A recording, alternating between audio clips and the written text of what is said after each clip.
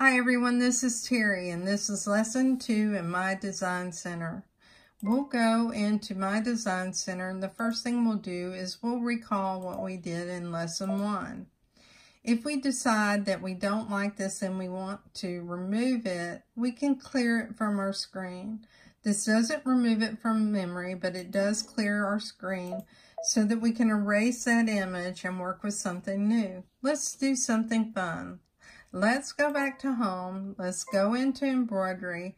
Let's select one of these monogram letters and we'll choose the block letter style and we'll choose the letter O and choose set. Now what we want to do is go into edit and at this point we want to create a stamp around it. I don't want a distance that's larger than zero because I want it to follow the outlines of this. I'll show you why in a minute. I'll choose memory and it'll save this to the memory uh, for the stamp pattern list in my design center. Now we'll exit embroidery by choosing a home key. We'll choose OK to exit. We'll go into my design center and this time we'll, we will recall that stamp that we pattern that we created. And here it is. I did it once before this video. And you'll notice it's just the outs, outside line.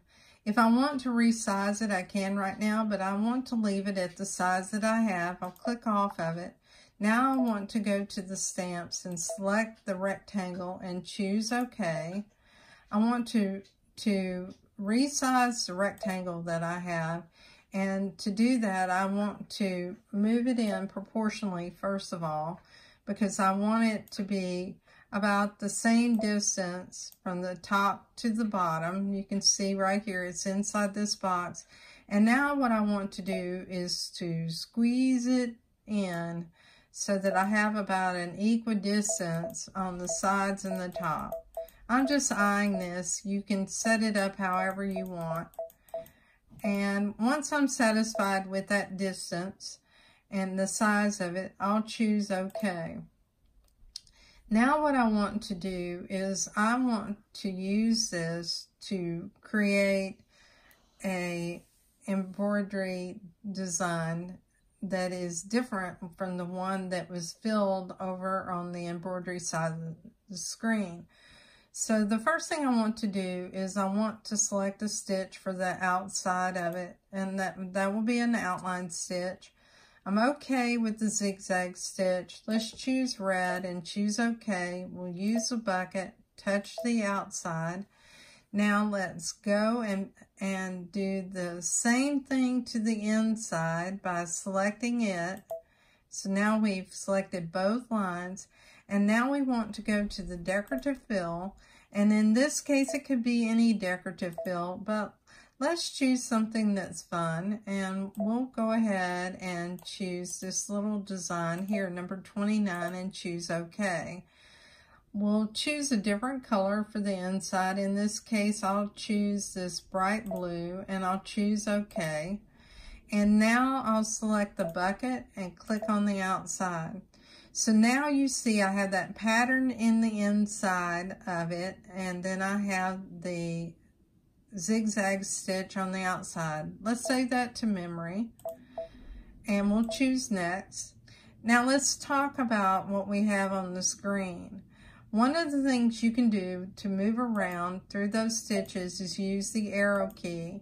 If I want the stitches for both the uh, of the zigzag stitches to both be three millimeters, I can go ahead and choose link. And now all of the zigzag stitches will, all the modifications will affect those zigzag stitches. And I'll uh, change this to three millimeters and choose OK.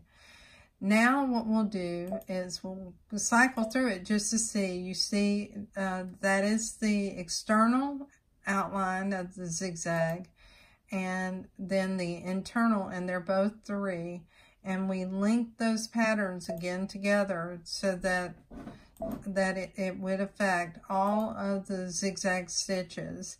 The next thing we'll do is we'll work on this decorative fill. Now on the decorative fill pattern, and we'll select it, you can change the size of it. 100% might be too large for this particular motif for such a small area, so we can reduce it down. And I'll reduce it down to 60% and choose OK.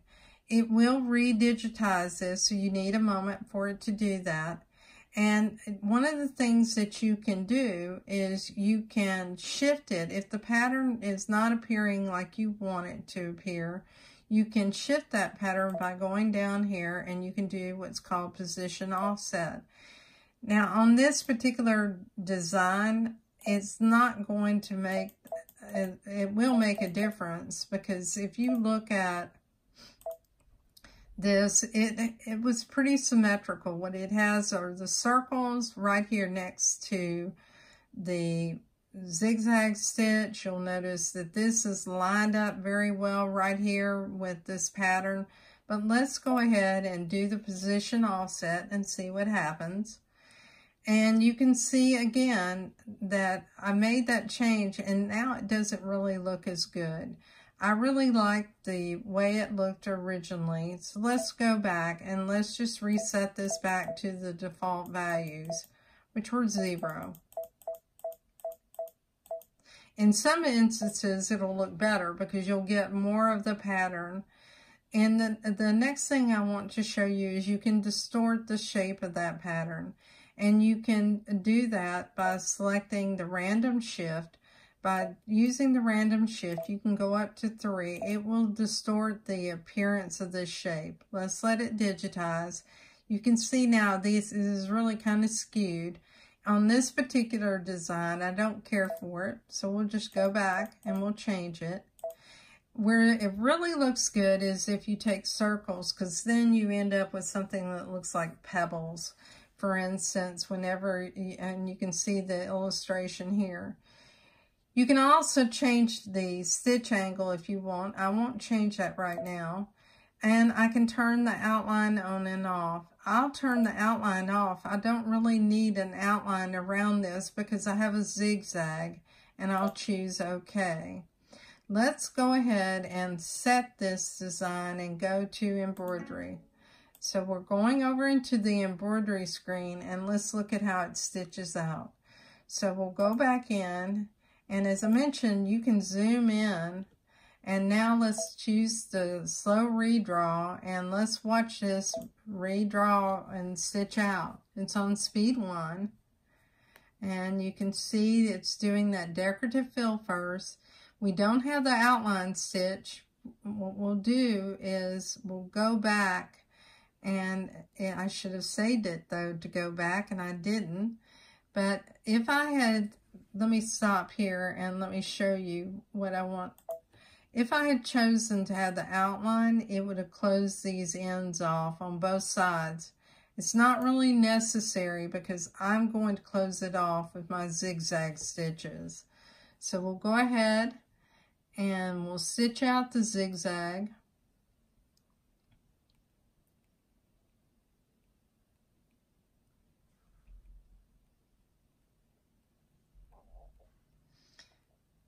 And you get an idea of what this is going to look like.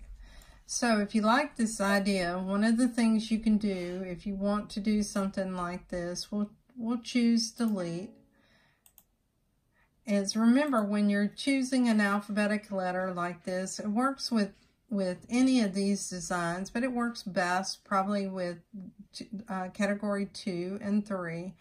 And any of those that have a shape that's in the inside, if you create the stamp, you're going to have to recreate this shape in the inside. So that's going to be true for the letters like A, D, Q, O, R, and you can guess the rest.